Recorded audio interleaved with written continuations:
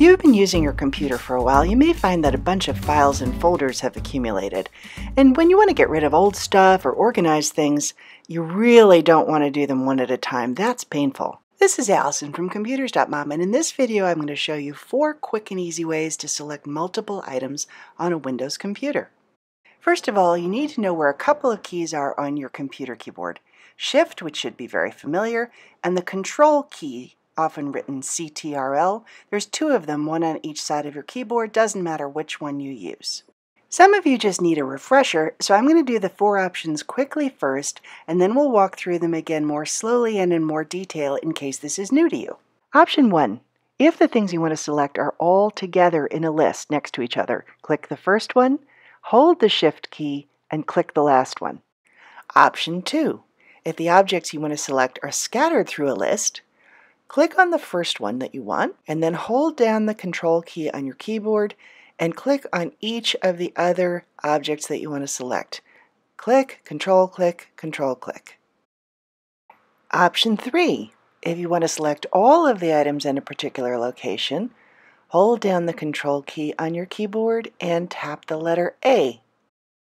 And finally, option 4, to select a bunch of icons that are close together on your screen, Create an imaginary rectangle by clicking and dragging diagonally from one corner of the rectangle to the other corner. Everything touched by that rectangle will be selected. Once you have a bunch of things selected, you can delete them, move them, organize them, whatever you need to do.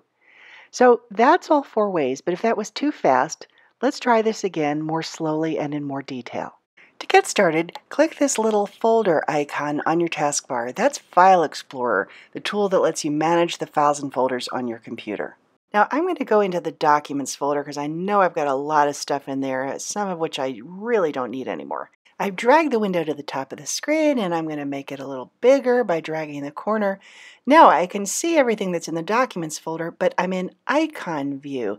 But for our purposes, I want to be in Detail View. So all I have to do is click on View up here on the menus and then Details. And now I can see everything in lists. It's all the same stuff, but it's organized in columns instead of as icons. You can see right here that there are 110 items in this Documents folder. And they're all kind of mushed together, pictures, recipes, work stuff.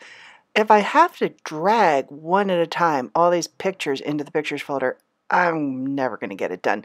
I want to be able to grab a bunch of things at once. When the items are together in a list, they're all next to each other, I click the first one to select that, hold the Shift key, and click the last one in the list. Now they're all selected and I can drag them up here and drop them on the Pictures folder. And if I open up the Pictures folder now, I can see that they're all there. And when we go back to Documents, they're gone. So they all move together. So that was easy, right? If they're in a list, I click the first one and shift click the last one, they're all selected. But what if they're not all in a list next to each other? If they're scattered throughout the list, I have to do it differently. Click the first one, hold down the control key, and click each additional file that you want to select. Using this technique, I've selected three different work files, and now I'm going to drag all three of them, I can do that from any one of the selected files, into this folder, My Work Stuff. So that was option two. The items are not next to each other. I can even combine those two techniques. For example, everything from focaccia down to macaroons really belongs in baking and desserts, except for the salmon. So if I click and then shift click to select all of these, I can then exclude the salmon by control clicking on it. I've selected everything except the salmon and I can now drag them and drop them in baking and desserts. And we can put the salmon into the fish folder for good measure. Two quick notes here. When you're using the shift and control keys to select things, just hold it until the object is selected and then release. You don't have to keep holding it down.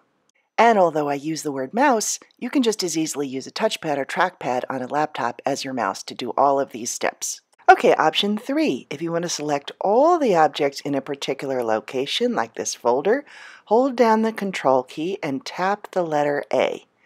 All selected. Now, if I want to get rid of these, I can just right click on any one of them and choose delete from the menu that comes up.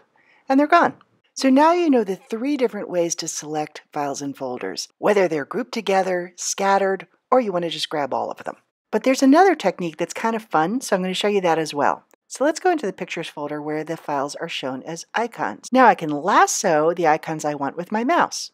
Just click with your mouse button on the upper left-hand corner and drag to the lower right-hand corner to create this imaginary rectangle, and then everything it touches is selected. So let's take all these pictures of my grandmothers and put them into a folder called Grandmothers. Let's recap these four techniques on a single page which you can print if you want to. If you are looking at the items in a list and they're all together, click the first item, hold the Shift key, and click the last item to select all the items in that list. If they're scattered, click the first one, hold down the Control key, and click each additional item that you want to select. To select everything, hold down the Control key and tap A, and to lasso a bunch of items in a rectangular area, click and drag to create an imaginary rectangle touching all of those items. That's all there is to it.